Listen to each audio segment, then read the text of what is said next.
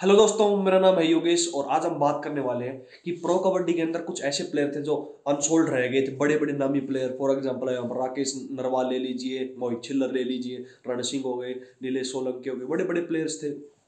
लेकिन अब की बार क्या है, उनमें से कुछ प्लेयर्स प्रो के अंदर वापस आ चुके हैं. तो मैं तीन ऐसे प्लेयर का नाम लेने वाला हूँ बताने वाला हूँ जो कि वापस आ चुके हैं टीमों में अपने और अब की बार प्रो में दिख सकते हैं आपको और यही बताऊँगा वो कैसे आए, किस तौर पर आए हैं. तो चलिए वीडियो शुरू करते हैं. जो इस लिस्ट में पहला नाम है वो है रण सिंह का, और रण सिंह ज़्यादातर प्लेयर जानते हैं, रण सिंह अब की बार अनसोल्ड रह गए थे प्रो कबड्डी के अंदर, और ज़्यादातर प्लेयर्स ये भी जानते होंगे कि वो अभी टीम में आ चुके हैं बेंगलुरु वॉरियर्स की, बहुत पहले से पिक्चर्स आ रही हैं, रमनिंदर सिंह की, रण सिंह की बेंगलुरु वॉरियर्स में प्रैक्टिस करते हुए दिख रहे हैं। वो लेकिन किस तरीके से आए हैं वो? देखिए, अभी यहाँ पर कोविड का टाइम अभी थोड़े से और कोरोना केस कर्नाटक में दो केस आए तो क्या कंडीशन हो रखी है यहाँ पर? दो, हर टीम दो तीन प्लेयर एक्स्ट्रा रख रही है कोविड के कारण। कि यदि कोई प्लेयर कोविड के कारण बाहर होते तो उनको एंट्री दे पाए और वो खेल पाए। और ये प्लेयर्स में भी चांस रहेगा, शुरुआत में नहीं खेल सकते ये प्लेयर जब तक कोई प्लेयर आउट नहीं होता कोविड के कारण, जब तक इनको मौका नहीं मिलेगा खेलने का। तो यहाँ पर पहले लिस्ट में नाम था वो है रण सिंह। अब चलिए बात करते हैं दूसरे नंबर के प्लेयर की। जो दूसरे नंबर पे जो प्लेयर है, वो है राकेश नरवाल।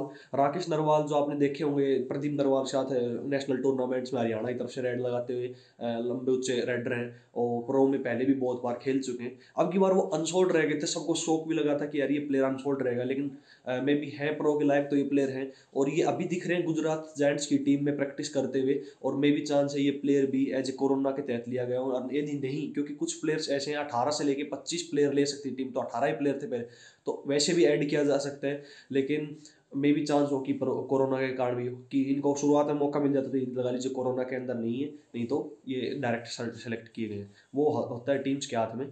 चलिए अभी बात करते हैं तीसरे नंबर के प्लेयर के। तीसरे नंबर पे जो प्लेयर है वो है भुवनेश्वर गौर।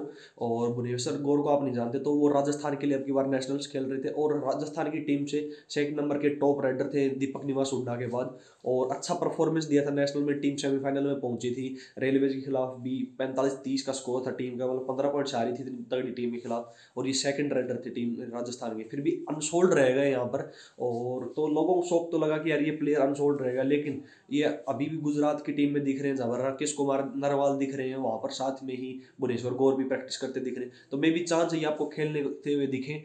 और एज ए कोविड की कंडीशन में हो तो ये शुरुआत में नहीं उतर पाएँगे, बाद में ही इनको मौका मिले। लेकिन चांस है क्या बताइए स्टार्टिंग में भी आ जाए यदि इनको डायरेक्ट सेलेक्ट किया हो। तो ये तीन प्लेयर्स थे जो अभी सिलेक्ट हो चुके हैं मेनली प्रो में अब की बार शुरुआत में खेले या कोविड के हुए तो बाद में खेल सकते हैं यदि कोई प्लेयर बाहर होता है तो।